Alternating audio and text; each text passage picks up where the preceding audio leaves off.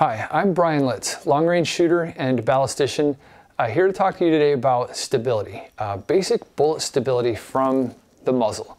All right, the things that you need to know about basic stability are that you need a twist rate in your barrel that is fast enough to stabilize the bullets that you select to shoot. And this is often important for long range shooters because long range shooters tend towards the long and heavy high BC bullets that sometimes have uh, special twist requirements.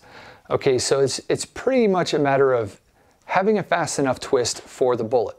And the manufacturers make this easy because they put recommendations on the box as to what twist you need to stabilize the bullet.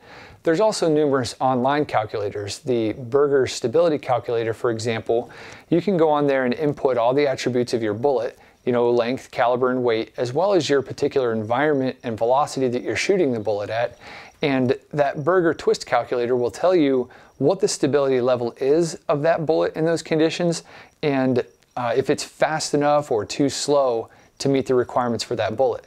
Pretty much you want a uh, gyroscopic stability factor of 1.5 or higher to be sure that you're getting full stability and all the performance out of that bullet through supersonic range.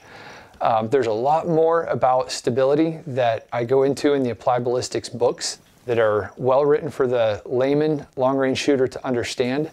But this short video is just to give you a basic understanding of what you need to look at as far as stability requirements for your long range bullets.